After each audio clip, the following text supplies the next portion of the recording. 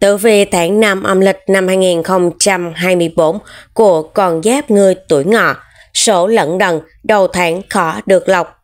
Theo tử vi tháng 5 âm lịch thì âm sát hung tinh khiến cho những ai sanh năm ngọ lẫn đận lao đao trong cả tháng trời mà không biết tìm lối thoát. Tử vi tháng 5 âm lịch cho biết, nguyệt lệnh mộc dục gây ảnh hưởng mạnh đến tình cảm, hôn nhân, sự nghiệp và tiền tài của đường sổ tuổi ngọ.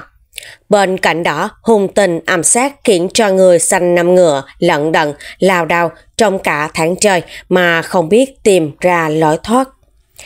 Người xanh năm ngọ khá chú trọng tới vẻ bề ngoài và luôn khao khát được đáp ứng rất tất cả các nhu cầu, mong ước của bản thân. Đặc biệt là mặt tình cảm, tâm sinh lý nhưng có vẻ như đời không như làm mơ nên bạn cũng thất vọng rất nhiều lần. Sổ bất định và nông nổi dễ tạo ra khoảng cách với những người thân trong gia đình, họ hàng và không được lòng những người xung quanh do lối sống lập dị mới lạ và từ đó cũng khó tạo được mối quan hệ tốt dẫn tới cuộc sống khó khăn. Đường công việc là điểm nổi bật trong tháng này nhưng nổi theo nghĩa tiêu cực. Nhiều tiểu nhân, đối thủ mạnh đang nhầm ngõ bạn và muốn cạnh khỏe với bạn. Người tuổi ngọ nên cẩn thận trong mọi việc, từ việc nhà tới việc cơ quan thì mới mong cuộc sống được yên ổn phần nào. Xem tử vi tháng 5 âm lịch năm 2024 của người sanh năm ngọ luận về các phương diện trong cuộc sống. 1. Luận về phương diện công danh sự nghiệp bạn nên chú ý tới những mối quan hệ xung quanh mình trong tháng này, đặc biệt là những người có tính hay tộc mạch soi mỏi người khác. Họ không tốt đẹp như vẻ bề ngoài, bản chất vẫn là người xấu tính, hợp tác làm ăn chung rất nguy hiểm. Tuổi ngọ tháng này không kiên định, dễ lùng lai trước những lời góp ý của những người xung quanh. Từ đó công việc rối như tơ vò, thành một mớ hỗn độn, không có hồi kết. Khuyên bạn nên nghe theo ý kiến của bản thân và không nghe lời người khác sủi bày, coi chừng mất hết cả chi lẫn trai. Nếu bạn vội vàng đạt được kết quả nhanh chóng, bạn sẽ khiến cho mọi việc trở nên tồi tệ hơn. Đừng nóng nại trước những vấn đề mâu thuẫn đã tích tụ trong quá khứ. Chỉ cần bạn có đủ kiên nhẫn và kiên trì để giải quyết thì mọi chuyện sẽ được xoay chuyển. Để ngăn chặn những hậu quả ngoài ý muốn, chỉ cần cẩn thận trong từng bước đi, chú ý mọi việc và bảo vệ bản thân một cách khôn ngoan, bạn mới có thể biến nguy hiểm thành an toàn. Những chuyện đã định trước sẽ thay đổi đột ngột. Lúc này, người tuổi ngọ nên bình tĩnh giải quyết, đừng hung hăng dựa quyền lực, gây chuyện để tránh thêm những rắc rối về sau. 2. Luận về phương diện tài chính Tháng này, khuyên người tuổi ngọ đừng ngại thay đổi, đừng chối bỏ cái mới, nhưng phải có chính kiến của riêng mình và không chạy theo đám đông. Khi cần được đưa ra lựa chọn, hãy tham khảo ý kiến của những người thân trong gia đình, đặc biệt là những chuyện liên quan tới kiện cáo đất đai mua bán hàng hóa. Xuất hiện của Thái Tuế cũng nhắc nhở con giáp người tuổi ngọ coi chừng mất tiền oan vì những kẻ sống không biết điều, giúp người ta không được lời cảm ơn tử tế lại còn rước bực vào thân. Ai đi xa du lịch, chơi bời, làm ăn hoặc xuất ngoại vì nhiều mục đích khác nhau, đừng đặt vẽ sớm coi chừng gặp phải biển phải hủy vẽ, tổn rất nhiều tiền và thời gian. Nếu có giấy tờ quan trọng cần làm liên quan tới công việc, gia đình thì nên hạn chế làm trong tháng này, rất dễ bị chèn ép và mất tiền oan. Nên nhờ người có uy tín làm hộ, họ sẽ chỉ đường cho bạn hoặc giúp bạn tránh được rắc rối. Cuối tháng 5 âm lịch này, bạn có thể tìm ra giải pháp cho hầu hết các vấn đề được giải quyết tạm thời thì sẽ có chuyển biến tốt hơn.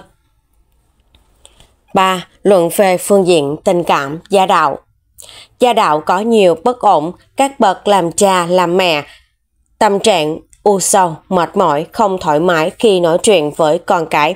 Nhiều lúc chỉ muốn được ở một mình để không phải lo nghĩ cho con cái.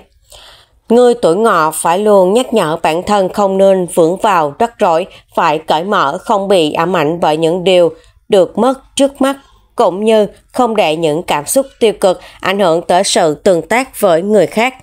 Bạn không thể cứ thù hằn, giận dỗi người khác chỉ vì một vài chuyện lặt vặt. Điều này sẽ làm xấu đi mối quan hệ giữa các cá nhân và không tốt cho bạn trong tương lai. Các bạn nữ đang có người yêu mà còn dây dưa với người yêu cũ thì nên dứt khoát càng sớm càng tốt. Nếu không sẽ có cãi vã lớn xảy ra, càng ngày càng căng thẳng và đổ bể trong thời gian tới đây. 4. Luận về phương diện sức khỏe Tháng 5, âm lịch, vì dễ gặp chuyện rắc rối như mất tiền, mất việc, cãi vã với người khác nên tâm trạng của bạn tụt dốc không phanh, dễ mất ngủ và bị trào ngược, đau dạ dày, ngủ không sâu giấc.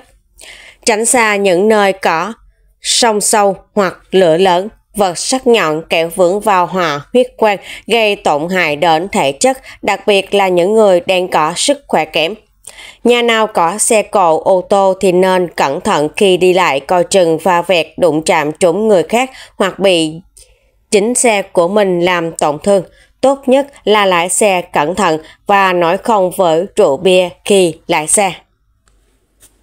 Cẩm nang vượng vận cho từng tuổi ngọ vào tháng 5 âm lịch năm 2024 như sau.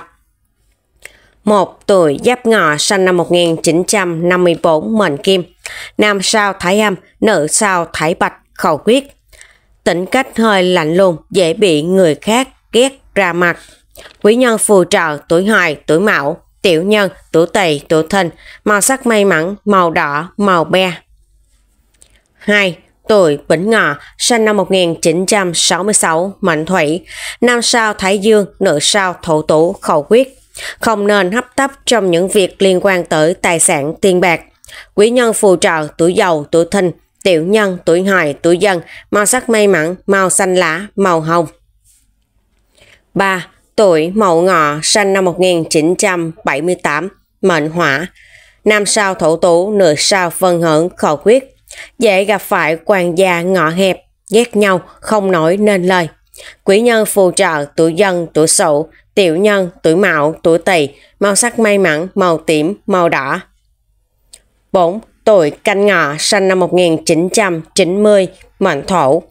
Nam sao thái âm, nữ sao thái bạch, khẩu quyết. Cẩn thận trong các mối làm ăn chung, coi chừng bị lừa gạt. Quý nhân phù trợ tuổi dậu, tuổi tỵ, tiểu nhân, tuổi thìn, tuổi dân, màu sắc may mắn, màu hồng, màu tím. 5. Tuổi nhâm ngọ sinh năm 2002, mệnh mộc, nam sao Thái Dương, nữ sao Thổ Tủ, khẩu quyết. Chú ý chuyện học hành, tiền bạc đừng chủ quan. Quý nhân phù trợ tuổi tuất, tuổi dậu, tiểu nhân, tuổi dân, tuổi hợi, màu sắc may mắn, màu cam, màu nâu,